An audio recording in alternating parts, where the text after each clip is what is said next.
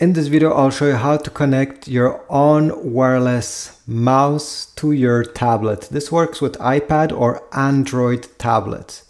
So what you need to do first, well, first make sure that your Onn wireless mouse has some battery inserted and uh, that they're good, okay? Put back the lid. And now we have to connect the USB dongle that came included with your tablet. Most tablets have a USB Type-C port. If we checked over here, you see that's a USB Type-C, this is a USB Type-A. It does not work, you need an adapter. This is the one that you need, USB Type-C to USB Type-A. Connect the adapter to the USB Type-A part and then connect the other end, oops, the other way over here like that. Once you do this, power on the mouse, turn it on, and press once on the connect button. Great.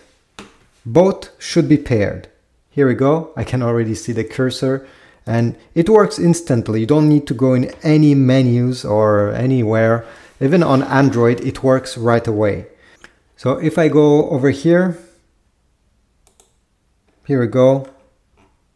I can browse, I can use this mouse the same way as, me, as I'm using it on a computer.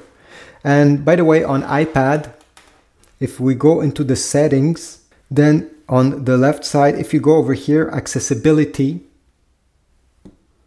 then pointer control over here,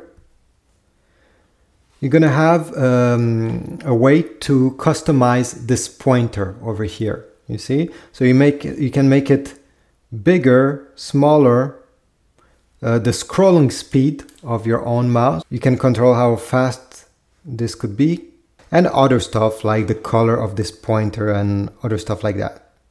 So thanks for watching. I hope this was useful. If so please leave a like comment down below subscribe and i'll see you in the next video